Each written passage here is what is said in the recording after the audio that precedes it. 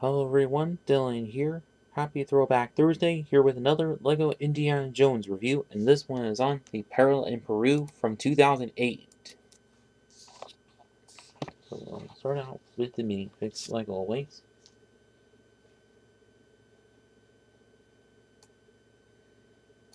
Alright then. Okay.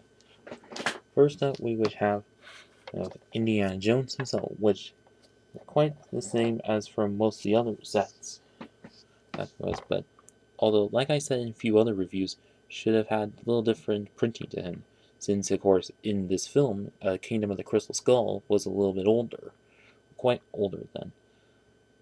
And a, maybe if this were remade now, I would expect that, but yeah, whatever. Aside from that, and exclusive to, or that also does come with the Crystal Skull, which is key part of this movie.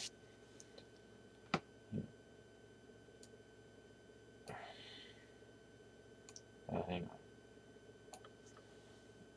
See, it was quite interesting how it is kind of looking kind of close to as it does in the movie. Well, although it does have this large blue bit in it.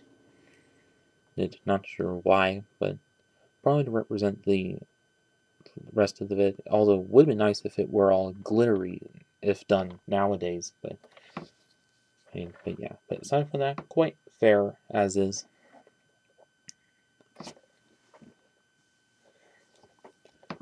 And then next to which have Mutt Williams, which is Indy's and Mary Ravenwood's son. And of course, uh,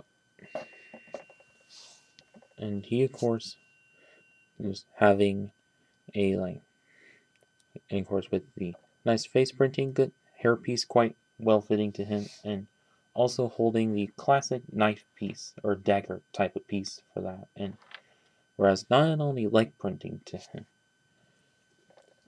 and also whereas for the uh, jacket bit which you can definitely use on some old style greaser minifigs in but also does say mutt on the side of it, but all, unless we, maybe that's forgiven, but yeah.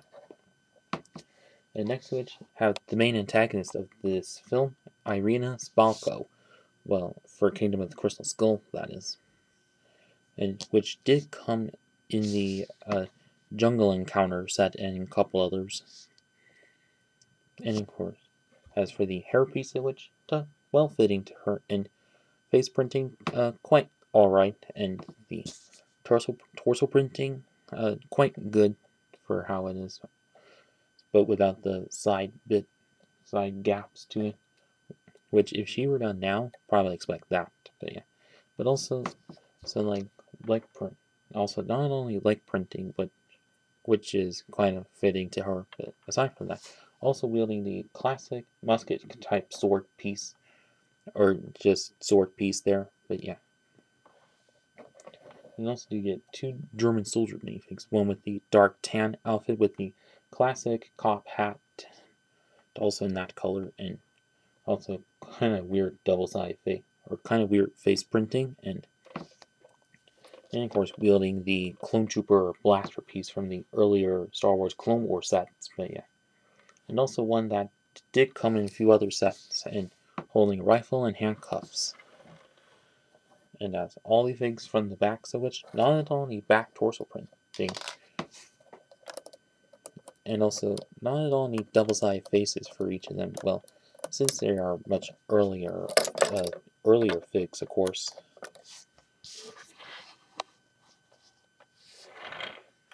And as is, I think this minifig selection quite good for how it is, but yeah.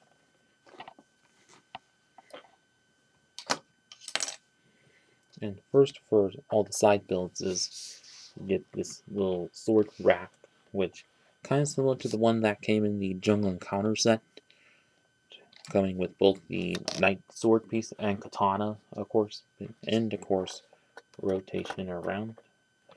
And, but yeah.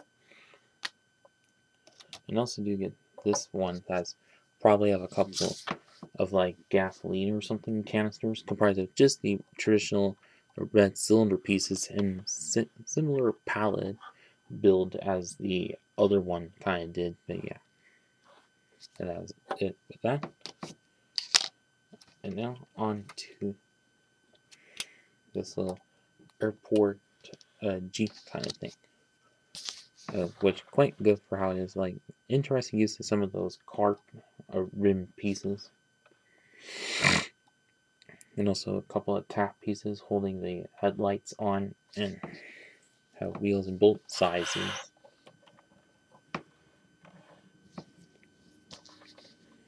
and although from first glance does look kind of like a tractor in a or city tractor in a polybag build, but at least interesting seeing that here, but not used as that. But yeah, and also does have a little steering wheel and a seat back there, and a couple more oh whoops lights on the sides of which. And as for this back section, or on both uh, sides, does have a little clip kind of piece to it, which I'll show in a while, but yeah. But also do you get two little uh, behind pull, or trailers for it to pull, like this one, which has couple smaller wheels to it, and also back tail lights for there, and also plane guiding things there.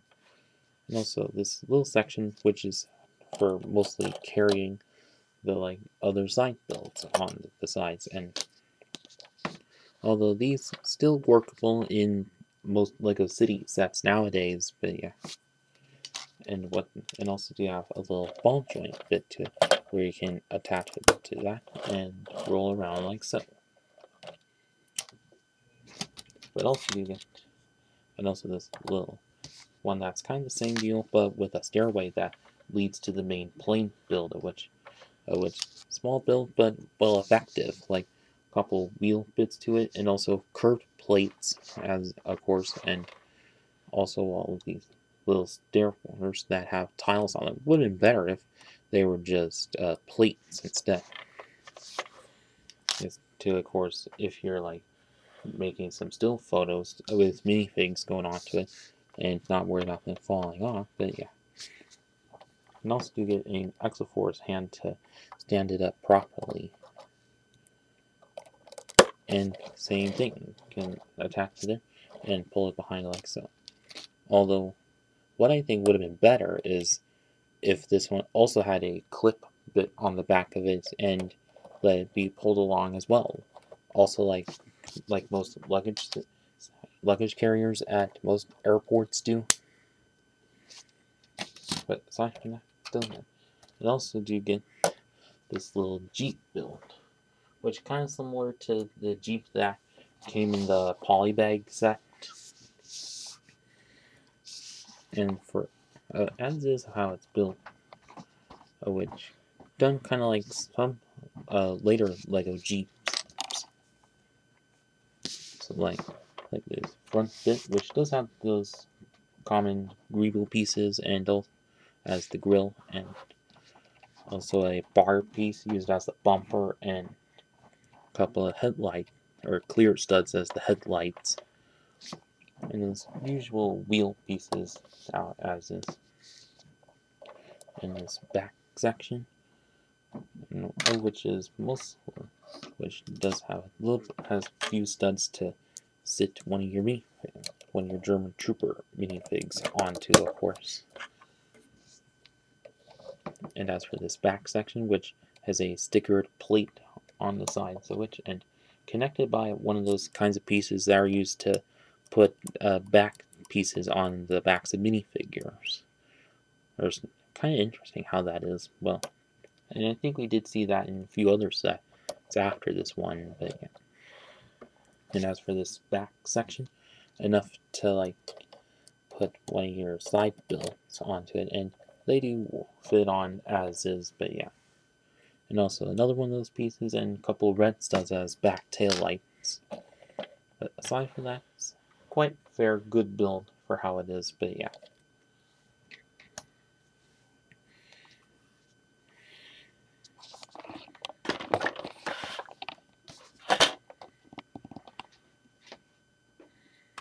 Now on to the actual main build, which is this airplane itself. And of course this is supposed to be one of the older minifig, old old style planes to it. And oh, also one other minifig I forgot to mention is the pilot, uh, which front torso printing done quite good, face printing quite well, a classic cop cap but in white. Nice to see there. And no double side face or back torso printing. Now, why I forgot to show it in the minifig selection, because I forgot to have it in there, but at least it's all kind of common, but yeah.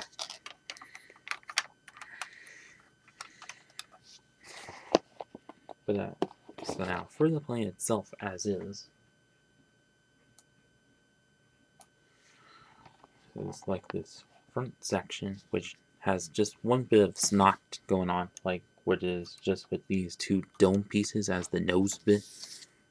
And also the rest of which usually have those like corner bricks going on. But if this were done nowadays, I'd probably expect some like more snot going on with like cheek slopes and all. And also do you have one of those a little a larger slope bits in the front. But the rest of which quite as is. And as for this center section, which comprised of a usual steering wheel piece, which would have been better if it was a couple levers for that end. Also a jagged slope, using as the plane instruments, of course. And enough room to sit your pilot minifig into and let it connect to just two studs on there, but yeah. And so now onto the uh, little wings of which with, with good symmetry to this uh, vehicle, for this plane, of course. And of course, comprised of mostly a few different plates, and if you look from the sides, which kind of frail as is, well, although I think could have been nice if this plate was moved out a little bit more, and or maybe this just fine as is, because that would make it a lot wider, of course. Whereas for these engines, built just about like actual old style airplane engines and also get two of the classic propeller pieces that you spin around as is. And of course one of those little classic pieces and also a couple of wheel-like pieces and a large slope representing the large engines of it. As for this bottom section, which comprised of like one of those like semi-truck uh, exhaust pipes that there are, or mufflers that there are. But at least good to see used on something that's not a semi-truck for that. And also do get these few Technic beams here with a wheel on it representing its landing gear and do fold in quite well. And as for the side parts of the plane, uh, which says, Panigara Airways. Yes, and uh, which are the usual uh, canopy cockpit kind of pieces, but in clear with nice stickers or maybe with stickers representing that, and still quite effective. And on top part is a smallish antenna, or I mean, used as an antenna is a little lever piece, and also a clear dish piece, probably used as like the uh, radar of it. And you can like lift this off, and you get some bit of interior space to it. Like a couple of, like another, also another pallet I forgot to mention about, which same build as the other two, but a couple of crates on it, which don't have anything in them. Well, with them outside is, do you get plenty of space to fit like three minifigs into a course. and also this little back section, which this little bit acts as a hold handle where you can pull down and have your minifigs lock into a course. And well, with this little build to it, kind of align it just well. Uh, I'm kind of, it's kind of confusing how that is, but yeah.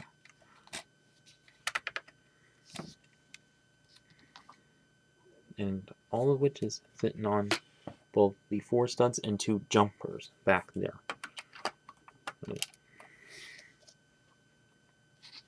And as for the uh, back section, or back tail wing section,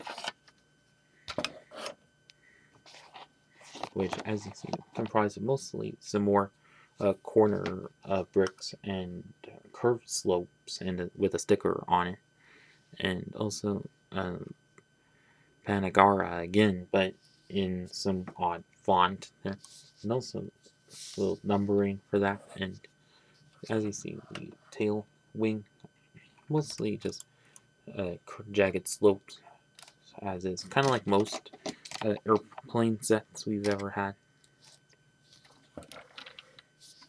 And, and also, as for the tail wings that are kind of similar to the front wings, but but of course a lot smaller and still as much effective. And also one, and also a little curved piece down below. Although it would be nice if it were elevated more so that walkway ramp can actually align with this section. But yeah.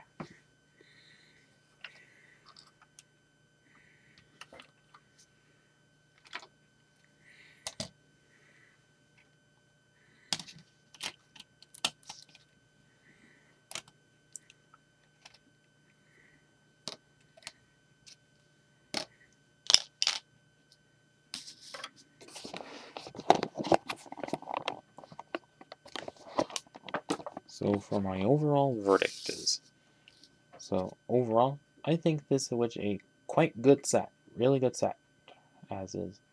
Like, do get one large plane, well, old style plane there, and also five mini, five or six minifigs included with it, and of course, two of the main characters of Kingdom of the Crystal Skull and the lead antagonist, one, Irina, of course, but aside from that, and also a few good small side builds of which, which for so you get plenty of good stuff for a good price at which, but like if this were remade nowadays, I think could have been a little bit better. But yeah, like some more snot going on. But aside from that, the size for price of which quite good for how it is. Although if this were redone nowadays, probably be like uh, 60 to 70 by now uh, but whatever. And also, if this were remade nowadays, probably wouldn't include wouldn't include all the side builds except for the Jeep, of course. But yeah. Not much else to say about it, but yeah. And so now, if you're looking to get this set, or as is, well, or I mean, yeah, and so now, if you still have this set from back in the day, well, I hope you had some good memories of it. And if you're look, and if you're looking, and if you haven't yet gotten and still are looking to get this set, well, definitely pick it up. eBay, Bricklink, whatever, or or even Mercari or whatever. But yeah. And that's about it with this video. Please like, comment, share, and subscribe. Thanks for watching.